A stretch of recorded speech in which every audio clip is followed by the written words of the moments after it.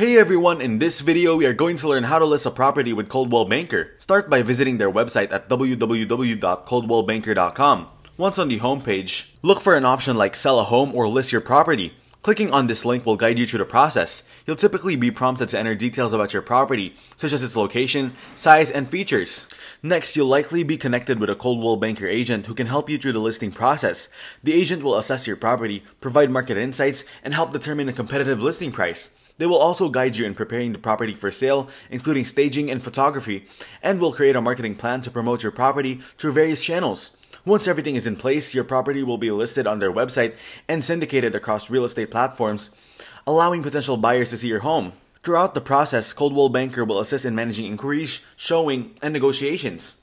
I hope you learned something new today. Don't forget to like and subscribe for more content.